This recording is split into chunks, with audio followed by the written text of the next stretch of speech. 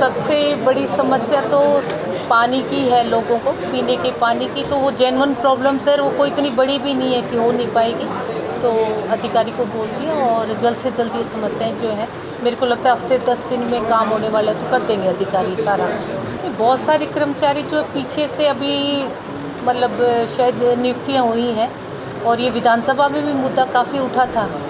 तो सरकार दे रही है, धीरे धीरे आ जाएँगे, कोई कर्मचारियों की दिक्कत नहीं होगी, बहुत सुचारू रूप से काम चल रहा है और ऐसे चलता रहेगा।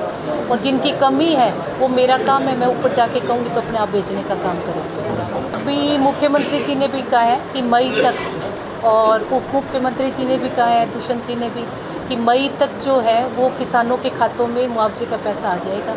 तो मिड मई तक आप मान के चलो कि आ जाएगा।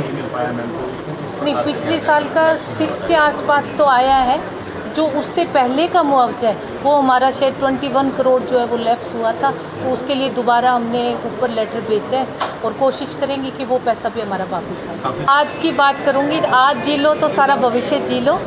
आज के दिन तक गठबंधन बिल्कुल सुचारू रूप से चल रहा है और भविष्य में भी सुचारू रूप से चलेगा।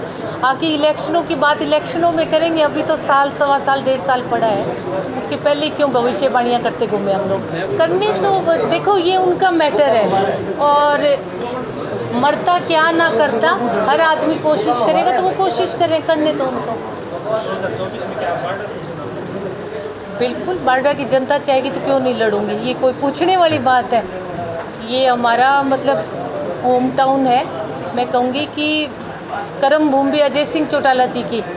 यहाँ से Ajay Singh Chautala ji member of parliament बन के गए हैं। तब से मैं कहूँगी चौधरी देवीलाल से लेके बाडड़ा के लोग जो है ना, वो तन, मन और धन से हमारे साथ जुड़े हुए हैं। मुझे तो अब मौका मिला इन पाँच सालों में इनकी सेवा करने का।